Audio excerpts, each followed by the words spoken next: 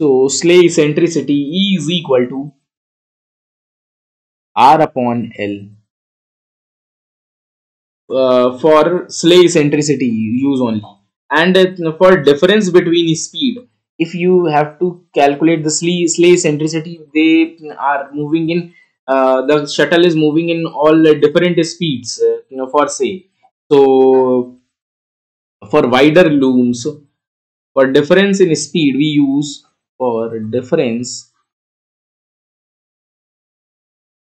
in speed we use E is equal to R square upon L. Number 3, if we have to calculate the acceleration, acceleration is what the shuttle moves forward and then it also have to move backward. Then there are two types of acceleration. One is the acceleration, the second is the deceleration. Deceleration is also known as retardation.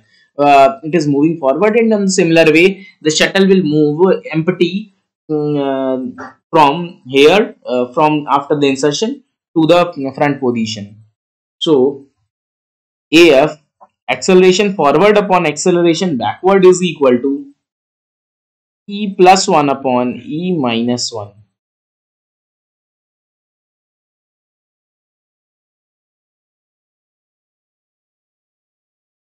So this is the um, simple formula. Just we will see the numerical also, also of this. Uh, suppose it is given that the radius of the crankshaft is 10 centimeter.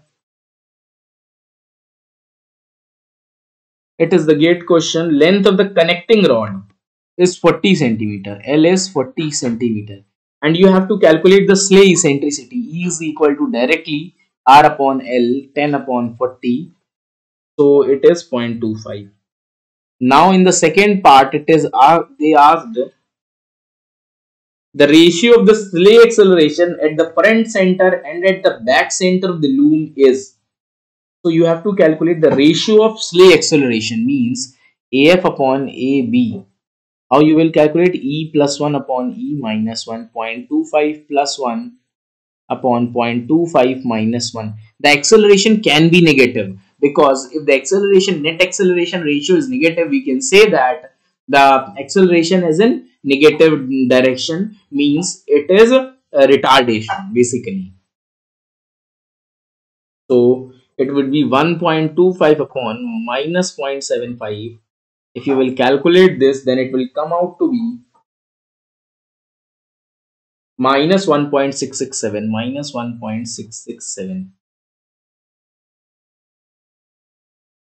this is how these questions are framed. Uh, so if i talk about they they the types of questions that are basically asked uh, varies on uh, some other models also.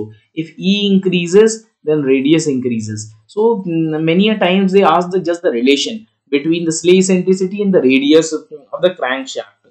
So they are directly proportional.